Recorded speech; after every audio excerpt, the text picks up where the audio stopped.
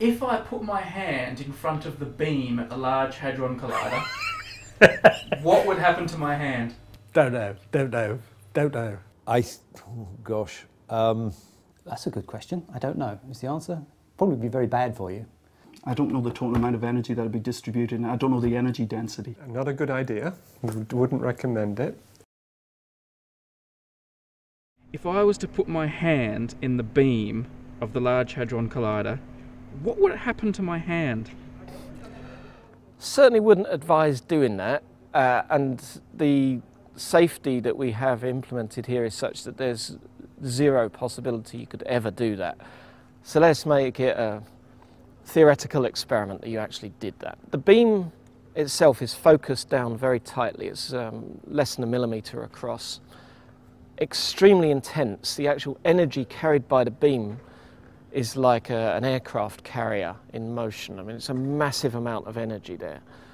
So you really wouldn't want to put your hand in there. It'd make a hole straight through it. If I put my hand in front of the beam in the Large Hadron Collider, what would happen? What would happen to my hand? Right now, nothing. There's no beam. when there's beam, it would hurt. Okay, there, there's a there's a, a train going through there at full speed. Basically, that's the amount of energy that there is. So yeah, you would you would it would hurt your hand quite a bit. But it's not just that tiny part of the beam. The beam or the proton beam is accompanied by what's called a halo of electrons and some muons as well that extend out quite far, some of which can be you know, meters away.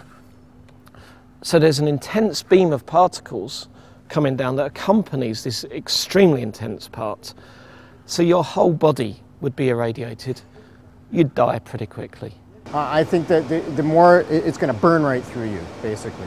It's going to burn through that soft tissue. We, we can already, you can already see it. There's some examples where they put uh, metal in front of, of various beams and you can see the holes that it can make in it. So I'm sorry it would hurt. It would hurt a lot.